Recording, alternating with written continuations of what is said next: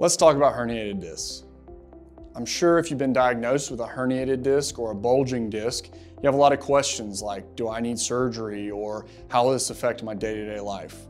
By the end of this video, you'll know what a herniated disc is and how physical therapy can help.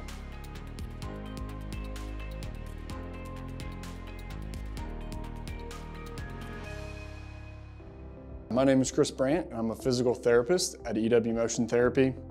We see a ton of patients with herniated discs and low back pain, and today I want to talk to you a little bit about what can cause a herniated disc, what the symptoms are or what the pain looks like, and how PT can help.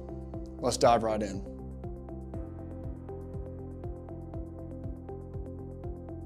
So first, I want to talk to you a little bit about how a herniated disc occurs. It's important to know what a disc is in between each vertebrae or each bony segment of your spine, you have a disc. And that disc is kind of rubbery on the outside and has a jelly-like substance on the inside known as your nucleus.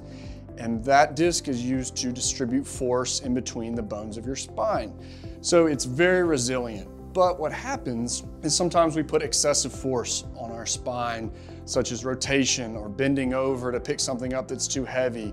Sometimes we don't have the strength or stability in our spine to be able to do that. The aging process can sometimes take a toll on your spine and the disc in between by losing some hydration, losing some space, losing that sponginess that allows that force to distribute.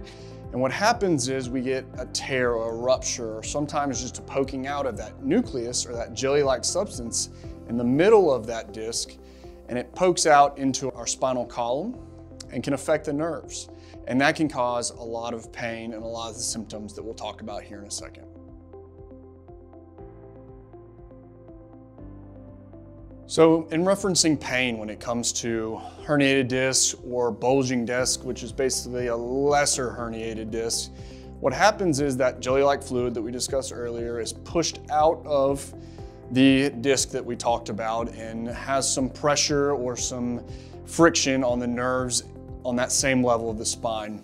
And what that can do is cause radiating symptoms down the limbs. So if you were to have a disc herniation in your neck, a lot of times you'll feel pain down the arm. If you have it in your low back, you can feel symptoms going down the leg. Sometimes irritation of your sciatic nerve can cause painful symptoms. If the herniation goes on for too long, you can start to have some issues with balance, some issues with stability, especially if it's affecting your leg.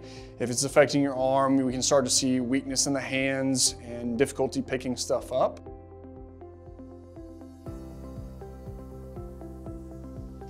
So in a lot of cases, PT can be very beneficial. Obviously, if you have a disc herniation where you're having significant weakness, you know, over the first two to three days, you're having paresthesia or issues in the saddle area or bowel or bladder problems, that is something that you need to go get taken care of by a doctor immediately. However, if you're just having some symptoms down the leg that come and go, or you feel like, you know, it's just in that back, Physical therapy can be a great option to try and relieve those symptoms without having to have surgery. I want to emphasize that disc can heal or tissues like anywhere else in the body. So what we have to do first is get you in a comfortable position. What we want to be able to do is find a good position for you to be able to relieve that pain. So sometimes if it's in the lumbar, we're going to have you lay on your back. We're gonna have you on some heat. We're gonna work on some hip mobility to make sure your hips can move a little bit better so your back doesn't have to do as much. And by relieving that pain, we can put you in a better position to start a little bit of what we would call mobility work. So the next part, after we get you comfortable, we're gonna then start to work on range of motion. So if it's in your low back, we're gonna be looking at you being able to get on and off the bed comfortably. We're gonna be looking at you being able to roll over and stand up. We may even, if you can tolerate, start to figure out how to bend over again. So after you gain that range of motion, the third level is going to be strengthening. Obviously, there was some weakness in the area when that occurred, or else it would not have occurred.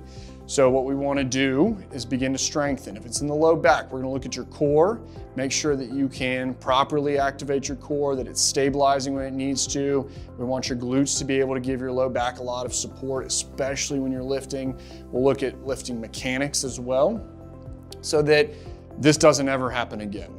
And those three parts of that sequence are the typical route that physical therapy would take to get you back to your normal routine of daily life.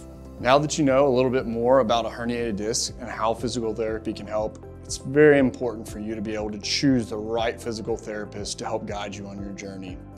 Click the link in the description below to watch our video on how to choose the right physical therapist.